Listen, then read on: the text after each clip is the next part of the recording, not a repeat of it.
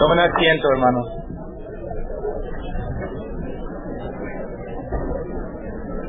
Abramos la Biblia, 1 Corintios capítulo 15. 1 Corintios capítulo 15.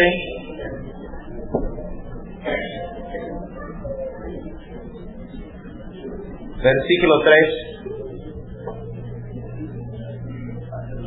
Porque yo entregué en primer lugar lo mismo que recibí que Cristo murió por nuestros pecados, conforme a las Escrituras, que fue sepultado y que resucitó al tercer día, conforme a las Escrituras. Oremos.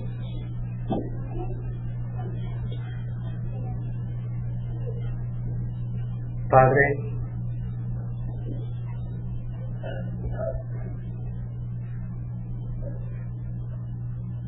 en el nombre de Cristo te hablo. Sé lo que soy, Señor. Sé lo que somos. Y la gran necesidad que tenemos, Señor, de tu misericordia.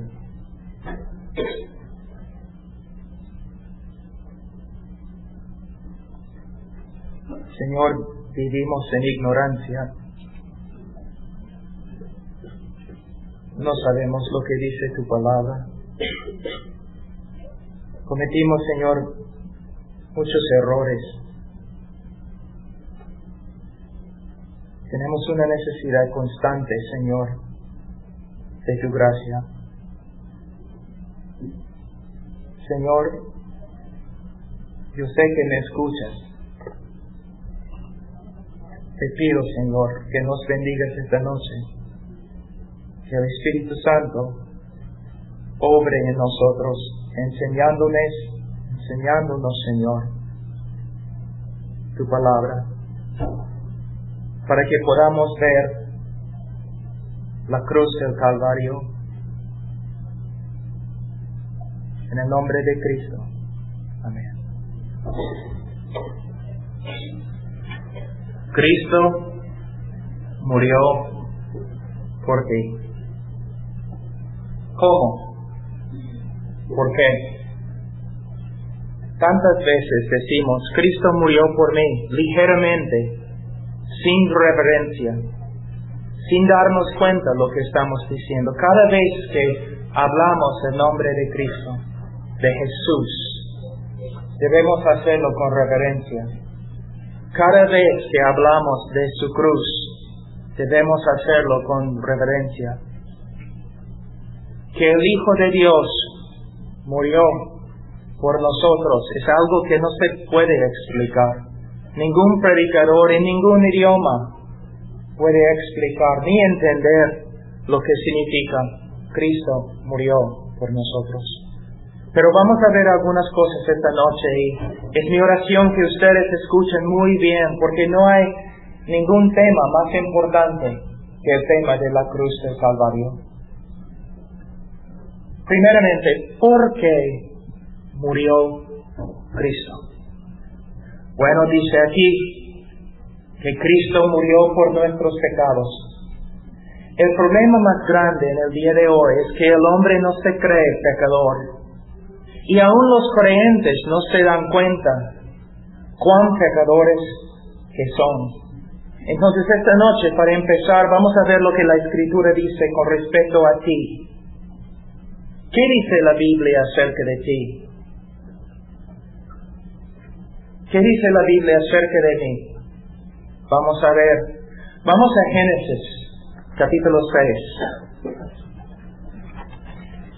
Génesis, capítulo 6.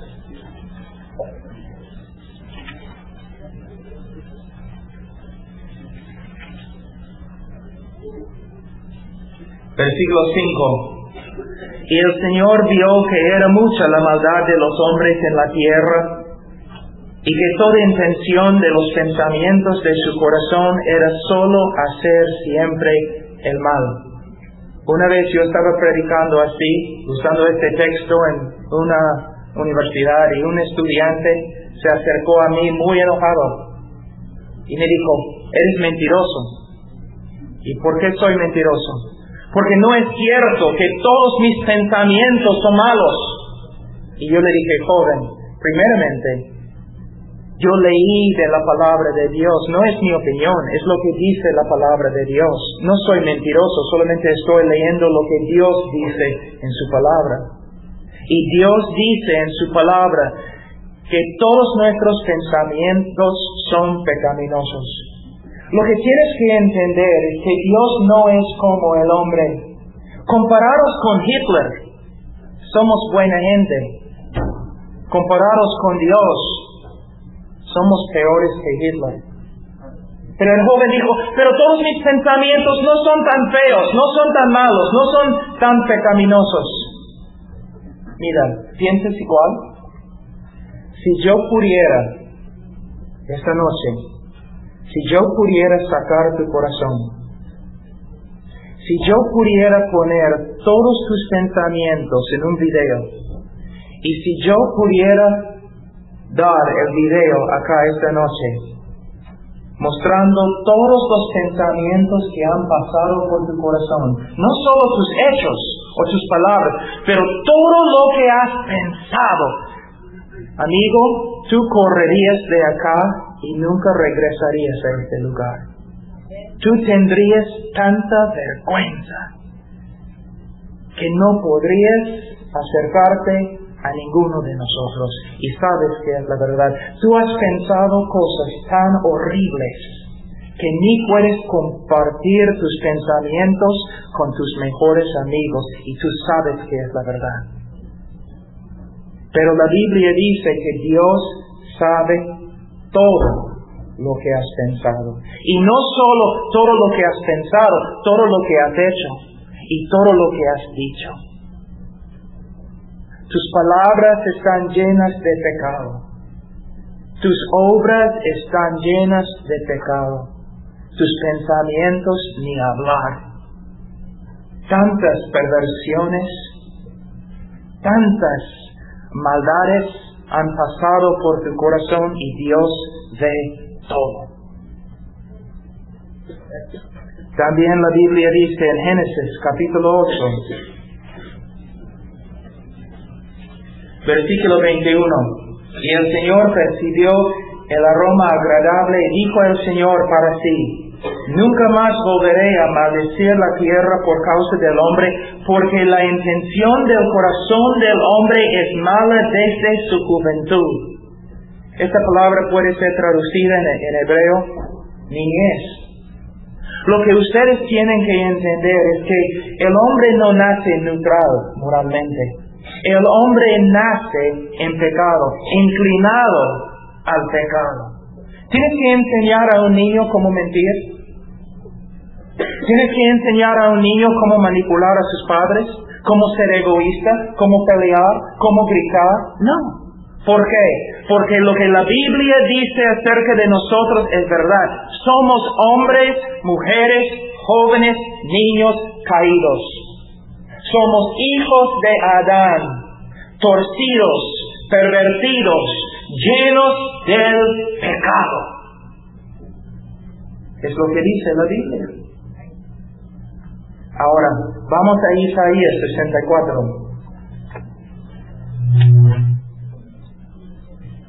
Isaías 64. Versículo 6. Todos nosotros somos como el inmundo, y como trapo de inmundicia todas nuestras obras justas. Todos nos marchitamos como una hoja, y nuestras iniquidades como el viento nos arrastran. Todos nosotros somos como el inmundo. ¿De qué está hablando? Bueno, hay varias posibilidades, pero puede referirse a un leproso ¿Una vez has estado con un leproso? Yo sí. Yo trabajé con los leprosos en la selva de San Pablo, en Perú. Es algo horrible, hermano. Si yo tuviera acá conmigo un leproso, sería horrible. El horror sería horrible. Su parecer sería horrible. Sangre y pus. Carne. Torcida, fea, pudrida, podrida. Imagínense, un hombre tan feo que ni puedes verlo, ni, ni puedes mirarlo, ni puedes olerlo. Tan feo es la enfermedad de ser leproso, es una cosa horrible. Su piel está pudrificándose. ¿Está acá? La Biblia dice que nosotros ante Dios moralmente somos así. En el día de hoy la gente se ríe del pecado. Ustedes también se ríen del pecado les gustan el pecado. De verdad. No debemos mentir, no debemos ser hipócritas. En el televisor, en la radio, sus ojos, a ustedes les gusta el pecado. Pero para Dios es la cosa más enferma, más sucia, más pervertida. Y la Biblia dice que nosotros, sin la gracia de Dios, nosotros solos somos como un leproso. Ahora, vamos a decir que vamos a tratar de mejorar eh, la pasar mejorar la apariencia del leproso. Salimos y, y vamos a Dallas, compramos una tela muy muy fina y traemos aquí la tela y vestimos el leproso en la tela. Ya ahora se ve muy bonito. Solamente algunos segundos después que sucede, la misma corrupción de su cuerpo también va a corromper la tela. Y la tela bonita llega a ser tan fea, tan horrible como el hombre. Por esta causa nosotros no podemos hacer nada para salvarnos por medio de nuestras obras. Lo que hay que entender es que nuestras obras son como trapos de inmundicia ante Dios. Nuestras mejores obras están contaminadas con la corrupción de nuestro corazón. No hay ninguna cosa que puedes hacer para presentarte ante Dios aceptado. Cuando la Biblia dice que Cristo murió por nuestro pecado, tenemos que entender lo que es el pecado. En nuestra cultura, en los Estados Unidos, es casi imposible entenderlo. Nadie toma en serio el pecado, ni los pastores, ni los predicadores. No predicamos contra el pecado porque no queremos ser ofensivos, porque no queremos perder nuestro trabajo, nuestras iglesias. Hablamos muy bonito, pero el mundo está marchándose al infierno, porque no estamos demostrando a través de la escritura que el pecado es más que una enfermedad es algo grotesco, es algo horrible, es algo que Dios no puede soportar jamás. Lo que te hace reír, Dios odia.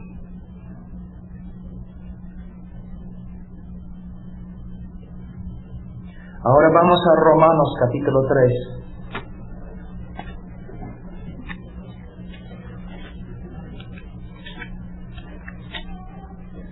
Romanos capítulo 3.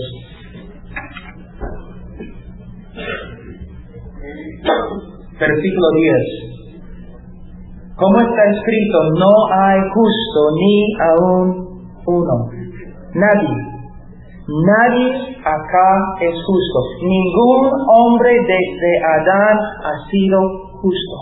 ¿Qué significa justo? Bueno, la palabra en, hebreo significa básicamente derecho. Tenemos un palo acá, derecho. Si pongo otro palo a su lado, que va en la misma dirección, entonces también es derecho, es justo. Pero si se extravía así, no más es justo. No se conforma a esta norma, no es justo. Nosotros no somos justos porque nosotros no nos conformamos a la naturaleza o la voluntad de Dios. Nos hemos extraviado en todo lo que Dios nos ha mandado, todo. No has violado solamente una ley o algunas leyes, tú has violado todo y para siempre lo has hecho. Ni una vez has hecho el bien ante Dios, ni una vez. No hay justo ni aún uno. No hay quien entienda. La educación en los Estados Unidos es pésima, pésima. Es horrible. Yo viajo por todo el mundo enseñando teología, es lo que hago. Hace un año y medio, un amigo mío de British Columbia me mandó un libro de la lógica. La lógica. Yo enseño pastores, yo enseño profesores de pastores. Un libro de la lógica. Empecé a leer el primer capítulo. Caramba, puede que sea. Y yo enseño la lógica fue recontra difícil el libro. Entonces leí, leí el primer capítulo de nuevo. De nuevo, recontra difícil, pero ya ahora entiendo. ¿Sabe qué? El libro fue escrito para niños en el octavo grado que vivieron hace 200 años. Un capítulo que ni probablemente una, un joven en este grupo puede leer. Nosotros no somos inteligentes. Nosotros no somos más inteligentes que antes. Comparados con los, los campesinos de hace 200 años, somos ignorantes, no sabemos nada, ni sabemos leer. Cuando hablamos de líderes de los grupos de jóvenes, la mayoría de ellos ni han leído la Biblia, ni una vez.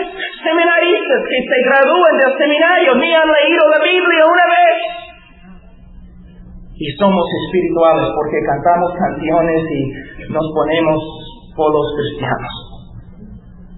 Ay, hermano, no entendemos. Cuando hablo del pecado, cuando hablo de la necesidad de, de vestirnos decentemente y todo lo demás, ¿no me escuchan? Se ríen de mí. ¿Por qué? Porque no entienden. No entienden nada. No tienen luz. Ay, mira cómo somos. No hay quien entienda. No hay quien busque a Dios. Personas, a veces cuando los jóvenes vienen y quieren dar su testimonio, ellos dicen, yo estaba buscando a Dios y buscando a Dios y por fin lo encontré. Una mentira. ¿Sabe qué? Voy a enseñarles algo de la teología. Conforme a la teología cristiana histórica y también teología bautista, tú naciste un enemigo de Dios toda tu vida aborreciste a Dios.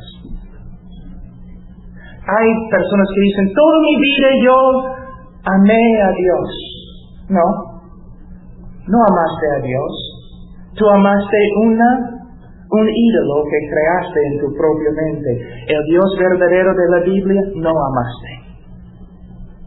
La mayoría de las personas no entienden que el hombre no solamente es pecador, sino también es enemigo de Dios y odia a Dios, y el hombre no busca a Dios. El hombre busca a Dios como un criminal busca a un policía. Nosotros no buscamos a Dios porque somos pecadores, odiamos a Dios y la ira de Dios está sobre nosotros. No hay quien entienda, no hay quien busque a Dios. Todos se han desviado, a una se hicieron inútiles. Mira, una de las características de una persona no cristiana es que es inútil para el Señor. ¿Cuántas personas en la iglesia no hacen nada en el nombre del Señor? Son miembros de la iglesia, pero no hacen nada. Vienen a la iglesia domingo, quizás miércoles, pero no hacen nada. Son inútiles. Una descripción de los incrédulos es que son inútiles. La iglesia está llena de personas no cristianas. Dice, no hay, no hay quien haga lo bueno. Hay muchas personas que piensan que Dios tiene una balanza ahí en el cielo y si tenemos más buenas obras que malas obras vamos a entrar. No es cierto, amigo, porque no tenemos buenas obras. No tenemos. Una persona dice, bueno, soy pecador, pero no peco mucho. Bueno, ¿cuántas veces tienes que pecar? ¿Cuántas veces pecaron Adán y Eva antes que fueran votados de la presencia de Dios? Una sola vez. Y tú has pecado tantas veces que ni puedes contar. Entonces, dicen, no hay quien haga lo bueno, no hay ni siquiera uno. Versículo 19. Ah, vamos a seguir con una cosa muy importante. Mira, versículo 18. No hay temor de Dios delante de sus ojos.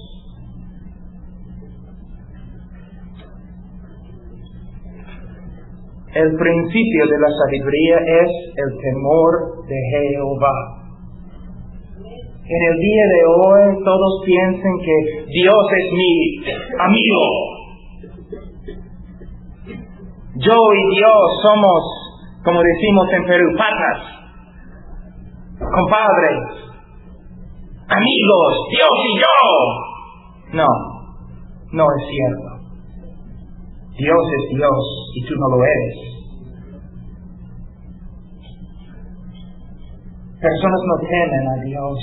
El Dios que creó el universo y un día va a destruir el universo aún los cristianos jueguen con Dios y jueguen con sus mandamientos. ¿Cuántas personas pueden ahora pararse acá en este edificio y empezar a citarme los mandamientos que Dios nos ha dado? No, nada. Porque en el día de hoy no hablamos de mandamientos, solamente fe en Cristo y después vamos a vivir como queremos. Mentira. Porque Cristo dijo, no los que dicen Señor, Señor van a entrar en el reino de Dios, sino los que hacen la voluntad de Dios. No hay temor de Dios delante de sus ojos. Versículo 19. Ahora bien sabemos que cuando dice la ley, lo, lo, dice a los que están bajo la ley para que toda boca se calle y todo el mundo sea hecho responsable ante Dios. El apóstol Pablo usó los primeros tres capítulos del libro de Romanos para convencernos que éramos pecadores, que somos pecadores. Un hombre no puede entender su necesidad de Cristo a menos que primero entienda su, su pecado y su estado condenado ante Dios. La mayoría de las personas no buscan a Cristo porque no reconocen su necesidad. la mayoría de los que se dicen cristianos no aman a Cristo porque no reconocen la profundidad de su pecado y lo que Cristo ha hecho por ellos. ¿Alguien tiene llaves? Nunca tengo mis llaves. ¿Alguien tiene llaves? Dígalos, hermano. Escucha. ¿Te da gozo? Si te da gozo, tú necesitas la consejería. No te da gozo, ¿no? Pero si estuvieras encerrado en una cárcel, sí, te daría bastante gozo escuchar llaves Predicadores, pastores, jóvenes, líderes, escúchenme. La, la, razón por la cual la mayoría de las personas en nuestra iglesia juegan con Cristo, la, mayoría, la razón por la cual la mayoría de las personas en el mundo no pueden ver su necesidad de Cristo es porque no están, no pueden ver que están cerrados en la cárcel de Dios, condenados. La mayoría de las personas no entienden no entienden el peligro en que están, que van a morir y van a ir al infierno, que Dios viene con ira contra el pecado del hombre. La mayoría de las personas no entienden esto y por eso no buscan la salvación en Cristo. No sé, nosotros tenemos que ser honestos. Tenemos que hablar con amor, pero tenemos que decir a todos, mira, somos pecadores y por causa del pecado la ira de Dios viene, el gran juicio de Dios viene, personas van a morir y van a ir al infierno. Si no se arrepienten y creen en la única esperanza, quien es Cristo. Gracias, hermano. Ahora, nosotros somos pecadores. Ahora voy a enseñarles algo que rara vez se escucha en el día de hoy. Hace 75 años siempre, pero en el día de hoy casi nunca. Una vez han escuchado, Dios odia el pecado, pero ama al pecador. Bonito, ¿no? Sí es bonito, pero es equivocado. No es lo que enseña la palabra de Dios. Es algo que se, ve muy bonito detrás de un polo. Y los cantantes que no estudian sus Biblias pero escriben canciones también. Pero hermanos, no se encuentra en la Biblia. Vamos a Salmo 5. Les voy a mostrar algo que no les va a gustar. Salmos capítulo 5, versículo 5. Yo voy a leerlo en la Biblia de las Américas y luego voy a pedir que alguien lea el, mismo versículo en uh, la Reina Valera. Salmos 5, 5. Los que se jacten no estarán delante de tus ojos, aborreces a todos los que hacen iniquidad. ¿Dice acá que Dios aborrece la iniquidad? No. Dice que Dios aborrece a los que hacen la iniquidad. ¿Alguien tiene Reina Valera acá? ¿Puede leer la Reina Valera? ¿Alguien? ¿Van? Los insensatos no estarán delante de tus ojos, aborreces a todos los que hacen iniquidad. Ay, caramba, mira.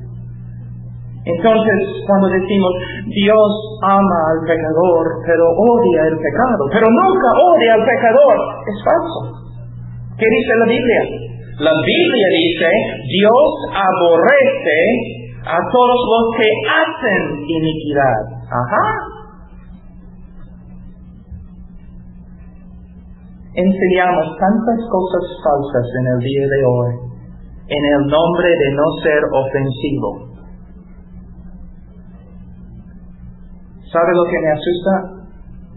Muchos de ustedes no tienen miedo. Lee. ¿Qué dice? ¿Qué dice? Cuando leo este versículo enseñando en una clase de teología, yo leo este versículo, personas siempre me dicen, pero Juan 3, 16 dice, porque de tal manera amó Dios al mundo que ha dado a su Hijo unívito para que todo aquel que en él cree no se pierda, mas tenga vida eterna. Dios odia al mundo y el mundo son pecadores. Entonces Dios ama al pecador. Bueno, Juan 3, 16 dice, porque de tal manera amó Dios al mundo. Pero Salmo 5, 5 dice también algo que Dios aborrece a los que hacen iniquidad. Los dos textos son inspirados por el Espíritu Santo. ¿Qué significa? Significa esto.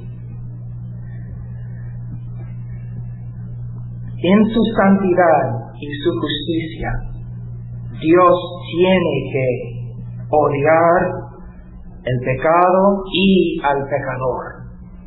Pero su amor es tan grande que Dios aún puede amar a los objetos de su odio. Lo que estoy diciendo es, la ira de Dios viene sobre el pecador, pero en su amor Dios ha hecho un camino por el cual el pecador puede ser salvo. Pero si el pecador no acepta a Cristo, lo que le espera para siempre es el odio y el enojo de Jehová. Si rechazas a Cristo como tu Señor y Salvador, lo único que te espera es el odio eterno de un Dios santo y justo.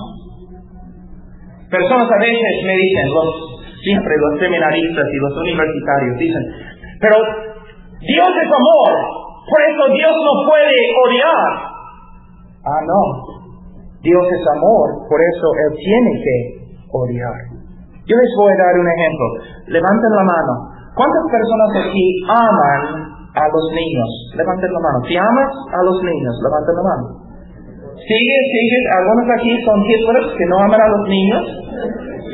Levanten la mano, así. Si amas a los niños, levanten la mano. ¿Ok? Si odias, si odias el aborto, levanta la mano. Ah, entonces si amas a los niños, tienes que aborrecer el aborto. Si Dios ama todo lo que es santo y justo, Dios tiene que aborrecer todo lo que contradice su naturaleza y su voluntad. Lo que el mundo no entiende es que la ira de Dios, la palabra ira viene de, la palabra hebrea a, que significa nariz. Muchos de ustedes no nacieron en un rancho como yo. Cuando un zorro se enoja, se enoja pero recontra. ¿Qué hace? Su, su nariz se abre. Eso es lo que significa. Que Dios está enojado contra el pecador todos los días. Y que un día la ira, el enojo, la furia de Dios contra el pecador va a caer sobre la tierra. Y el único salvador, el único camino por el cual podemos ser salvos es Cristo. Tantas personas en el día de hoy no entienden, no temen a Dios, jóvenes que no temen a Dios, adultos que no temen a Dios, pero no se dan cuenta lo que va a suceder. Dice que los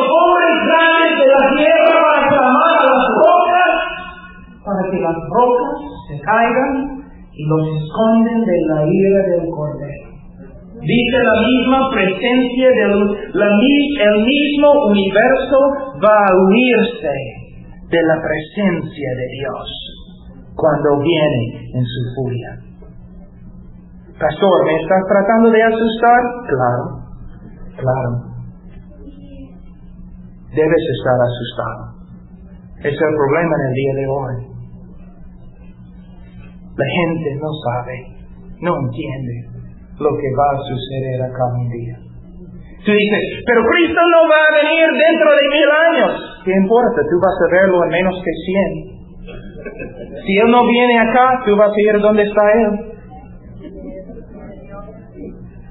Y algunos de ustedes ni 100 años, ni 50, ni 10. No soy profeta, no soy profeta, pero probablemente varias personas acá dentro de 5 años van a estar muertas. Y van a estar en el infierno.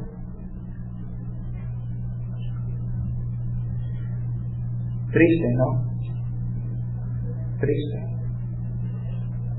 Ahora, el hombre es pecador. Ahora voy a enseñarles algo que es la verdad más importante en toda la Biblia. Si puedes entender lo que les voy a enseñar, entonces tú vas a entender mucho. Vas a entender mayormente todo lo que, la razón de porque tuvo que morir Cristo, porque tuvo que morir. Bueno, hay un problema. Si Dios es justo, ¿es justo? Si Dios es justo, Él no te puede perdonar. Y si Dios te perdona, Él no es justo, tampoco santo es el problema en toda la escritura. ¿Cómo puede Dios ser justo y a la vez perdonar al pecador? Les voy a mostrar el problema. Vamos a decir que después de la conferencia tú vas a tu casa y encuentras a toda tu familia allí asesinada allí en el, en el piso. Todos, todos familia. Y cuando estás allí mirando con lágrimas y todo lo demás, tú ves el asesino que está saliendo por la ventana. Tú lo agarras. Tú llevas, llevas al asesino a la policía. La policía lo lleva al juez. Y el juez dice, soy un juez lleno de amor. Asesino, te perdono. Vete a tu casa. ¿Qué vas a decir tú? Yo te digo lo que vas a decir. ¡No es justo! Vas a empezar a, llamar a tus amigos, a todas las personas en tu vecindario. Tú vas a empezar a escribir al gobernador, congresistas y senadores y todos. Tú vas a empezar a gritar, tú vas a llamar a la televisión, vas a empezar a gritar y decirle a, todos que este juez no es un juez justo. Es un hombre criminal. ¿Por qué es criminal? Porque él perdonó al hombre que debe morir. ¿No es cierto? En Perú, una de nuestras, de nuestras quejas más grandes es que los jueces no son justos. En México dicen lo mismo, ¿no? Los jueces no hacen justicia. ¿Por qué? Porque los culpables salen libres. No es justo, decimos. Entonces, ¿cómo puede Dios perdonarte a ti? La Biblia dice en Proverbios 17, 15 que para Dios el que justifica al impío es una abominación ante Dios.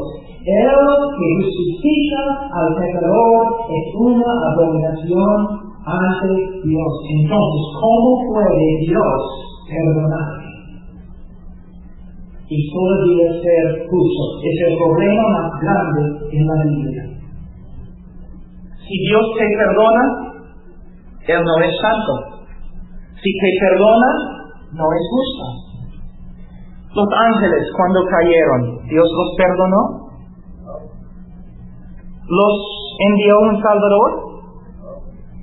Él no tenía que enviarte un Salvador tampoco.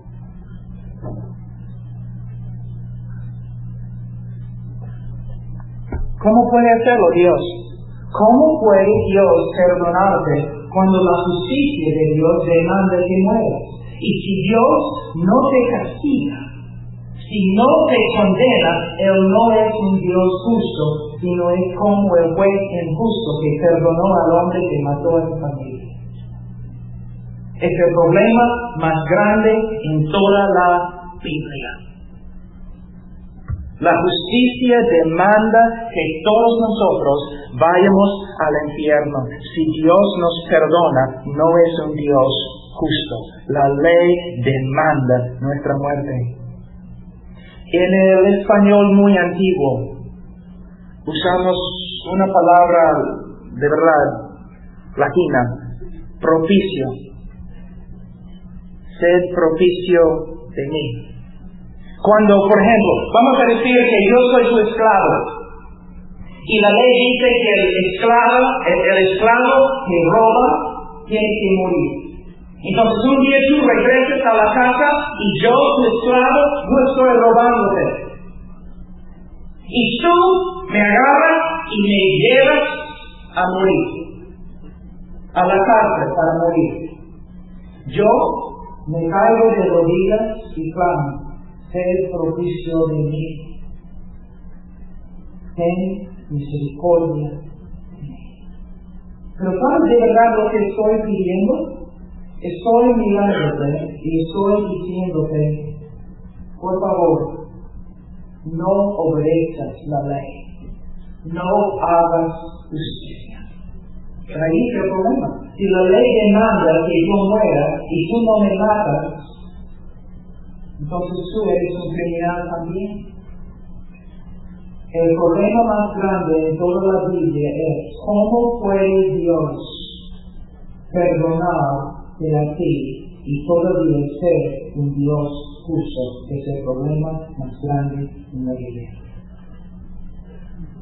Pero lo hizo. ¿Sabe cómo? Dios bajó de los cielos el Hijo de Dios tomó la forma de un hombre. 100% Dios, 100% hombre. Y Él caminó sobre la tierra como hombre, sumiso a todo lo que la ley decía.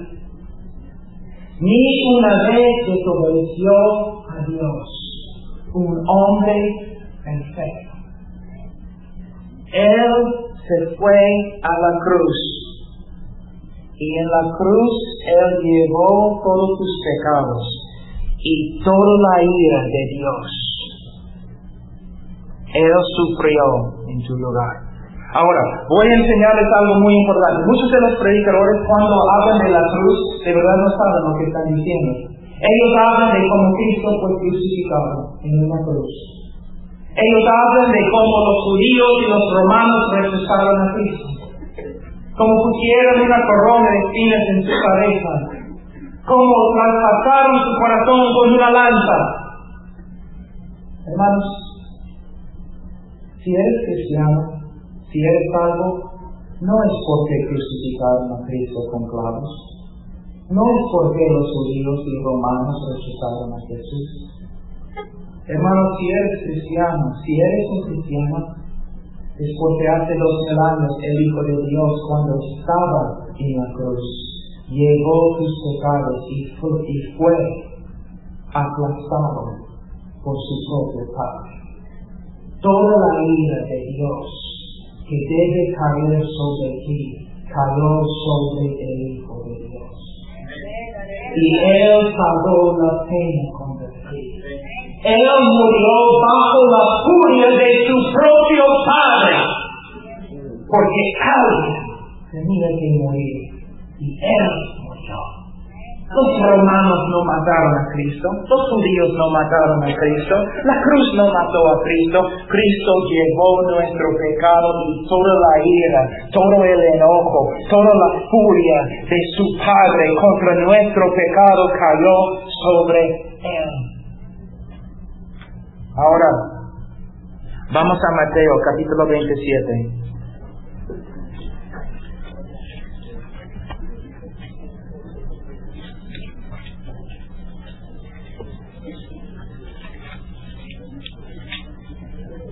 Mateo 27, versículo 45. Y desde la hora sexta hubo oscuridad sobre la tierra hasta la hora novena. Y alrededor de la hora novena Jesús exclamó a gran voz diciendo, Eli, Eli, lama sabachthani. Esto es Dios mío, Dios mío, ¿por qué me has abandonado? Ahora, ustedes han leído los folletitos que damos a los pecadores, ¿no? El pecado nos separa de quién? De Dios. Por causa de nuestro pecado no hay compañerismo entre nosotros y Dios. Por causa de nuestro pecado estamos abandonados de Dios. En la cruz, Cristo llevó tus pecados y Él fue abandonado por Dios en tu lugar. Jesús, el Hijo de Dios, para siempre ha vivido en un compañerismo perfecto con su Padre en la cruz. Su Padre se separó de él.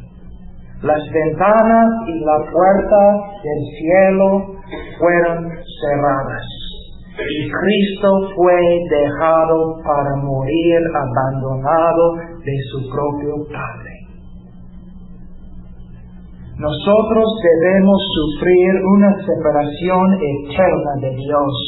Cristo sufrió la separación en nuestro lugar. Ahora, cuando la Biblia te dice algo en el Nuevo Testamento, por ejemplo, Ila, Ila, Lama tienes que entender lo que está sucediendo. En los tiempos de Jesús no había capítulos ni versículos. Si un rabino quería indicar un texto en el Antiguo Testamento, él simplemente citaba el primer versículo cuando Cristo clamó, Ila, Ila, lama sabachthani, Él estaba diciendo básicamente, ustedes quieren entender lo que está sucediendo acá, entonces, leen. En Salmos 22, vamos a ir y vamos a ver lo que sucedió en la cruz. Salmos 22.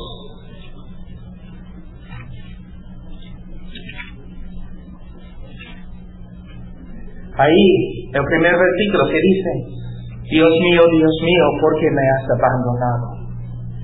Ajá. Una profecía acerca de Jesús muriendo abandonado por su propio Padre. Él dice en versículo 2, Dios mío, de día clamo y no respondes, y de noche, pero no hay para mí reposo. Sin embargo, tú eres santo que habites entre las alabanzas de Israel. En ti confiaron nuestros padres, confiaron y tú los libraste. Y a ti clamaron y fueron librados. En ti confiaron y no fueron decepcionados, pero yo soy gusano y no hombre. ¿Qué está diciendo? Él está diciendo básicamente, Dios mío, Dios mío, ¿por qué me has desamparado? De ahí él empieza su argumento. A través de toda la historia de Israel, Dios nunca has abandonado a nadie. A través de toda la historia de Israel, nunca has abandonado a los justos, pero aquí estoy, tu hijo, colgado de una cruz, en una cruz, clamando a ti, y tú me abandonas. ¿Por qué? Versículo 3, Él nos da la respuesta. Tú eres santo. Versículo 6, pero yo soy gusano. En la cruz, el precioso Hijo de Dios llegó a ser pecado. La serpiente levantada en el desierto en el tiempo de Israel había un carrito así. Y todos los líderes de Israel tenían que poner sus manos sobre él. Y él llevó el pecado de Israel al desierto y allí el animal murió, cortado de Dios y cortado del pueblo de Dios en la cruz del Calvario, el Señor Jesucristo no solamente fue abandonado por el pueblo de Dios, sino el Señor Jesucristo fue abandonado por Dios mismo. Separado de Él, habiendo llegado a ser pecado en nuestro lugar, el compañerismo entre el Padre y el Hijo fue destruido. Alguien tenía que sufrir fuera de la presencia de Dios, abandonado por Dios. Es lo que tú mereces. Pero Él lo hizo en tu lugar. Pero no solamente eso. No solamente Dios es santo y no puede tener compañerismo con el pecador, sino Dios es justo y tiene que castigar al pecador. ¿Ustedes recuerdan cuando Jesús estaba en Getsemaní? ¿Qué clamó tres veces? Padre, que esta copa que pase de mí, no quiero tomarla. Señor, no quiero tomar la copa. Señor, no quiero tomar la copa. ¿Qué estaba dentro de la copa? Yo te digo, la ira de Dios, la furia y el odio y el castigo y la condenación de un Dios justo estaba en la copa. Y cuando el Señor Jesucristo estaba allí colgado en la cruz, Él tomó la copa de la ira de Dios que debe caer sobre ti. Él tomó la copa y tragó la copa. Y cuando movió la copa, ni una gota de ira cayó. Porque Él tragó toda la vida de Dios en su lugar. Imagínate un ratito, imagínate un lago y una pared que está separándote aquí del agua que está detrás de la pared. Una pared, un millón de millas de altura, un millón de millas de ancho, y detrás de la pared agua un cuerpo inmenso de agua. Y en un segundo la pared se quita.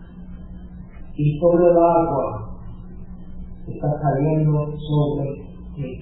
Pero antes que el agua pueda llegar hasta donde estás, la tierra se abre y traga todo el agua y tú estás salvo y seco toda la ira de Dios cayendo sobre ti. Y Cristo se puso en medio y sufrió toda la ira de Dios en su lugar.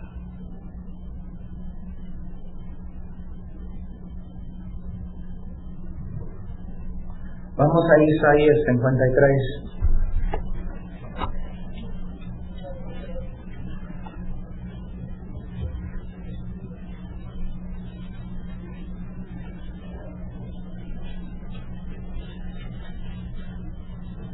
Versículo 10. Pero quiso el Señor quebrantarle, sometiéndole a padecimiento. Pero quiso el Señor, la palabra en hebreo, Yahweh, o Yahweh, o Jehová, o Jehová, pero quiso Jehová quebrantarle, sometiéndole a padecimiento. ¿Sabe qué? Ahora yo tengo un hijo. Los doctores, hace como siete años, cuando dijeron que mi esposa tenía un tumor en su cerebro, ellos nos dijeron, mira, ustedes nunca van a poder tener hijos, nunca, nunca, nunca. Olvídense, es imposible, es imposible tener hijos. Pero hace un año, nueve meses. Mi esposa tuvo que ir al hospital porque siempre tiene que ir para ver su tumor. Y la enfermera dijo, bueno, parece que está sentida, pero es imposible, pero tenemos que tomar fotografía y todo lo demás, tenemos que setearlo, pero es imposible. Pero ella estaba encima conmigo. Y como lo ha visto quizás, yo amo a este gordito bastante. Él es, pero si una persona tratara de hacer daño a mi hijo, no lo mataría. Yo pelearía contra cualquier ejército para proteger a mi hijo. Yo iría al infierno un millón de veces para salvar a mi hijo yo lo amo y si eres padre, tú sabes exactamente, tú entiendes exactamente lo que estoy diciendo. Imagínate, no puedo hacer daño a mi hijo. Yo moriría antes de hacer daño a mi hijo. Pero la Biblia dice que Dios el Padre quiso quebrantar a su propio hijo,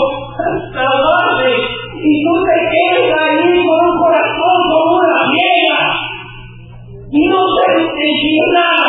¿Cómo puede? Tú puedes jugar con el pecado, tú puedes reírte contra el, contra el predicador. Tú puedes hablar de Jesús como fuera cualquier, como si él fuera cualquier persona. El Padre quiso quebrantar a su propio Hijo por nosotros un montón de sucio, pervertido pecador. ¿Por qué quiero servir a Cristo? Él murió por mí. Él murió por mí. Por esta causa quiero servir a Cristo. Estoy tan harto con esas personas que se dicen cristianos y viven como incrédulos, blasfemando al nombre precioso de Jesús. Debes decidir ahora Debe quiere pues. Porque eres sacerdote. Debe servir a Cristo. Pues. Porque no te, tú puedes estar aquí entre las cosas. Si Él de verdad derramó su sangre por ti, tienes que vivir. Él con todo su corazón. Pero deja de, deja de estas tonterías deben servir a Cristo. Él murió por ti, quebrantado, aplastado. La palabra en hebreo significa aplastado, molido por su propio Padre. Murió bajo la ira de Dios. Ahora, siempre cuando estoy en un debate o algo en la universidad, estos jóvenes en la universidad, caramba, ellos dicen, pero ¿Cómo puede ser que un hombre puede sufrir solamente dos o tres horas en una cruz Y esto es suficiente para salvar a millones y millones de hombres de, de, una, de una eternidad en el infierno. No, no puede ser. ¿Cómo puede Jesús sufrir solamente algunas horas en la cruz para salvar a todos? Para una eternidad. ¿Sabes cómo puede hacerlo? Porque Él vale más que todos nosotros juntos. Las canciones en el día de hoy, ay caramba, alguien que lee la Biblia debe escribir canciones. Hay una canción que dice, Dios ama al hombre más que cualquier otra cosa. Es una mentira. De verdad, lo siento, pero es una mentira. Dios ama a su hijo más que al hombre. Dios ama a su hijo más que todos. Pero Dios quiso quebrantar a su hijo. Su hijo tiene más valor que todos ustedes juntos. Tiene más valor que mí. Tiene más valor que todos los hombres que han vivido en la tierra. Tiene más importancia y más valor que todo el universo. Pero él, de buena voluntad, murió por. Y por eso nosotros debemos vivir para Cristo. ¿Saben cuando yo tenía 21 años en la universidad, una noche llegué a mi departamento, no sé cómo, borracho, porque yo tomaba, caramba, borracho. Alguien me había compartido acerca de Cristo, pero yo no presté atención. Llegué, yo tenía dinero, mi familia tiene dinero. estaba ahí, pero un joven, yo iba a ser abogado y todo lo demás, mi mundo era perfecto de fuera. Pero llegué a mi departamento una noche como, no sé, dos de la mañana, borracho, como las cinco en la media, cinco y media. Me desperté, no sé por qué. Pero mi cara y mi cuerpo todo mojado. ¿De qué? Allí en la oscuridad, confundido, borracho, porque estoy mojado por todos lados. Entonces fui a la, al espejo y prendí la luz y miré que, yo había dormido toda la noche en mi vómito.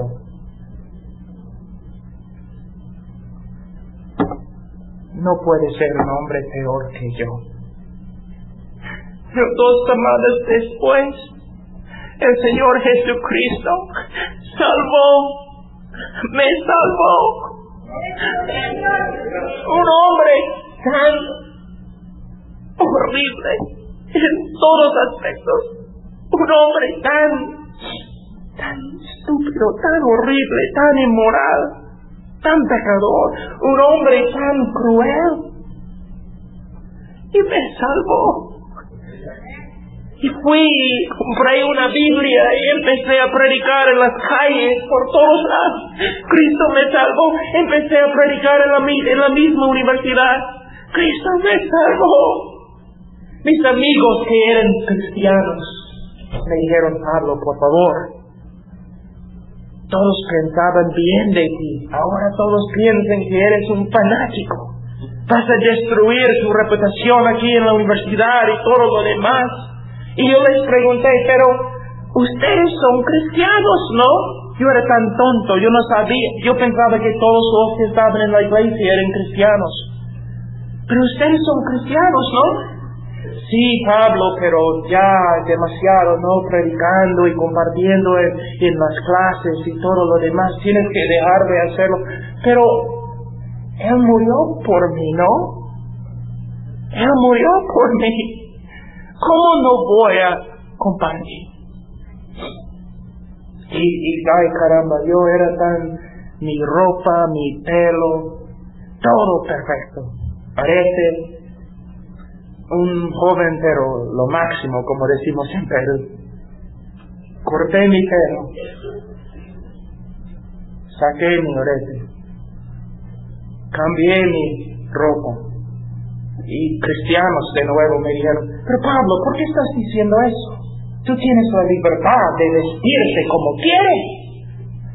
Bueno, yo sé que tengo la libertad de vestirme como quiero, pero en la iglesia donde voy, hay algunos ancianos, ellos, a ellos no les gusta.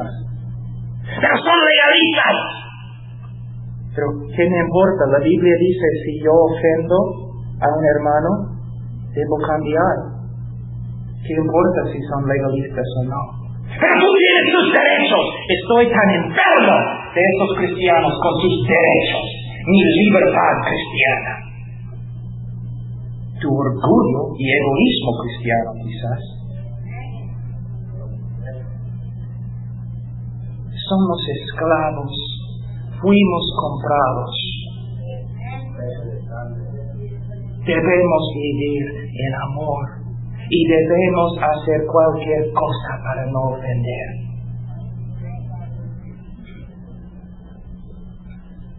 Debemos dejar de pensar en nosotros mismos y debemos pensar en Cristo y en los demás. Ahora si estás aquí esta noche, tú estás diciendo, nunca, nunca he leído, he escuchado tal cosa acerca de Cristo y lo que hizo por mí. Entonces, ¿qué debo hacer? Yo te digo lo que debes hacer. Debes reconocer tu pecado y debes seguir Debes confiar en Él. No puedes hacer ninguna cosa buena para hacerte aceptado ante Dios. Pero sí, si te arrepientes y confías en Cristo, serás salvo y lavado. Tú dices, yo soy una persona tan horrible. Amigo, Dios, tú no eres tan horrible como yo. Cristo me salvó, me salvó. Y los de ustedes que son cristianos, de verdad, ¿es precioso para ustedes Cristo? Es. ¿Sabe qué? Había un puritano, un puritano, que dicen de él, de que cada vez que él mencionó el nombre Jesús, se quedó un segundo, dos segundos callado con su cabeza. Porque ni podía mencionar el nombre de Jesús sin reverencia. Y nosotros no tenemos referente de nada. Voy a terminar con, con una historia. Había un pintor en Europa muy famoso. Durante la Segunda Guerra, su hijo y el pintor y su hijo pintaron juntos, pintaron juntos por todos lados. Eran famosos trabajar juntos y, el hijo era la inspiración del padre, el padre pintaba mirando a su hijo, amaba a su hijo. Pero un día, durante la Segunda Guerra Mundial, el hijo tuvo que ir a caridad. Y después de como una, un año, un año y medio, el papá recibió una carta, su hijo ha muerto en la guerra lo siento. El hombre murió de pena, de dolor. Pero después de la guerra, un joven llegó a su casa con una pintura que él había hecho, un cuadro. Y el hombre contestó la puerta y el joven dijo, Señor, ¿usted es el famoso pintor? Él dijo, sí. Bueno, Señor, yo, yo conocí a su hijo allí en la tierra y cuando no estábamos cargando, él me enseñaba a pintar. Yo sé que soy nómico, pero un, un cuadro de, de su hijo. Porque estábamos caminando juntos en el campo y había una bala y él me empujó y tomó la bala en mi lugar y murió. Señor, yo amo a su hijo tanto y no tengo nada, no tengo dinero, no tengo nada, pero pinté este cuadro y quiero, quiero darle el cuadro. El hombre miró el cuadro y de verdad era, no era muy, muy bueno, la pintura no era buena. Pero el hombre miró y dijo, gracias, gracias. Y el hombre entró en su casa donde tenía todas sus pinturas tan hermosas y caras, y él Dijo, voy a poner esta pintura en el centro de la pared, porque es, la, es el cuadro más importante para mí, lo que este joven hizo de mi Después de algunos años, el hombre murió y todos los hombres que coleccionan las pinturas llegaron a la casa porque iban a vender todas las pinturas famosas y caras que había en la casa y todos los hombres estaban allí a comprar para llevarlos las obras a, a sus museos y todo. Entonces el hombre empezó, un hombre empezó y dijo, primeramente vamos a vender un cuadro aquí y ustedes pueden decirme cuánto quieren pagar. Entonces mostró el cuadro, la pintura, y había, era el, el cuadro que el joven había pintado. Y todos los hombres, los artistas, ay caramba, es una porquería, no me gusta, saca esta pintura, no vale para nada, ¿quién va a comprar esta cosa? No, nosotros queremos las pinturas buenas del, pintor, no, no esa basura. ¿Quién es? ¿Quién lo pintó? Detrás, el soldado estaba sentado. El soldado que pintó el cuadro. Y él se levantó y dijo, mira, yo, yo tengo como seis dólares, es todo lo que tengo, pero yo quiero comprar el cuadro porque ustedes no entienden, ese, ese, en el cuadro murió por mí. Yo, yo tengo la oportunidad de trabajar toda mi vida aquí no sé lo que tengo que hacer, ser esclavo, no me importa, pero quiero solo dinero el cuadro, porque el cuadro tiene, es el joven que murió por mí. Y todos estaban rogándose de él, que lo lleva, que lo lleve. Y el joven compró la pintura seis dólares. Y se sentó ahí en el cuadro llorando. De repente el hombre que estaba ahí dirigiendo todo dijo, ya, todo se ha terminado, ustedes están decididos. Y los artistas estaban diciendo, pero hemos comenzado a comprar las pinturas, ni nos han comprado las pinturas acá que queremos comprar. Y el hombre abrió una sobre y sacó una carta escrita por el autor. Decía, él que recibe el cuadro de mi hijo, el que compra el cuadro de mi hijo, recibe todo lo que tengo. Sabe que hay muchos de ustedes que quieren tener buenas vidas. Otros de ustedes quieren ser famosos. Otros de quieren ser prósperos, ricos. ¿Cuántos de ustedes solamente quieren tener el hijo ¿Cuántos de ustedes solo quieren tener a Jesús?